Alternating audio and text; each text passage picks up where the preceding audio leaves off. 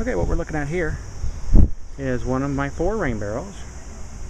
And it's attached to my garage. It's got a garden hose attached to that that runs behind my deck.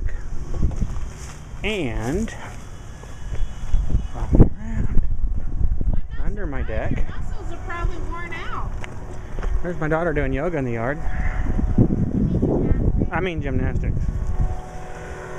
And then that garden hose comes out right here, runs into a solar powered portable rain barrel pump out to the drip system, which is dripping water into my plants. And dripping there. And all my herbs on the deck. And all these guys are working.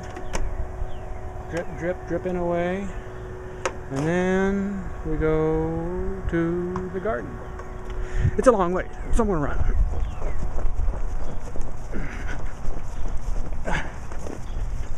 Cameraman suffering some psychosis, so just pardon me. Okay, and there, you see we've got up the hill this great big garden.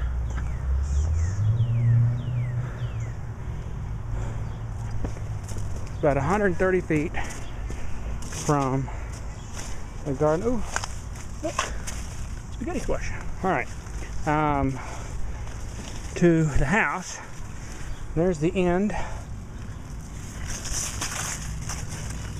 of the drip system, and there is the water coming out. I don't know if you can see it. Drip, drip. This is at the very end. So that's coming from the deck, which is behind, the, from the shed. Behind that shed, under the deck, to that rain barrel on that corner of the house, and then all the way to here, into the garden, and down to here. And I think that's just pretty dang cool.